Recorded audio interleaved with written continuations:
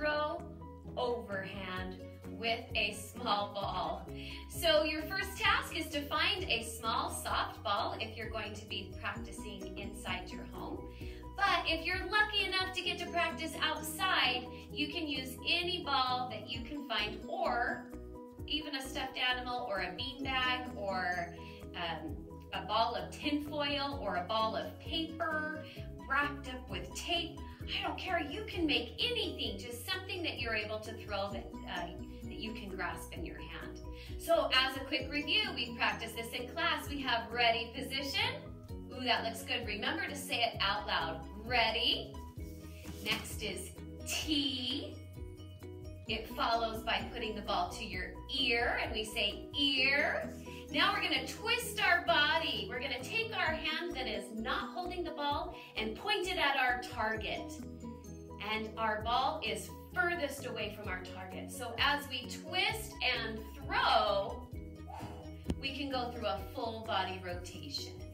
That looked great. Now run and go get your ball and we'll do it again. Got my ball.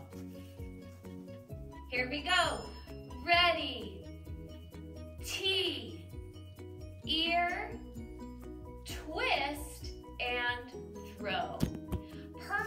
I'm now going to demonstrate it on the other side in case you're somebody who likes to throw with your other hand.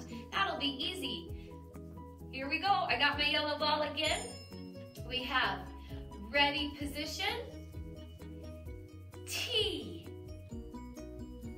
ear. Remember to say it with me. Twist.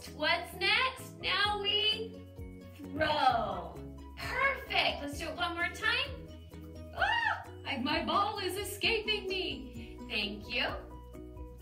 So we have ready. Let me hear it loud. What's next? T. That's right. What's next?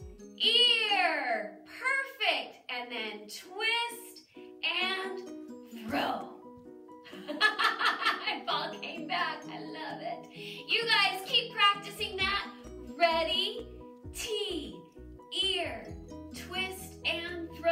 as many times as you can.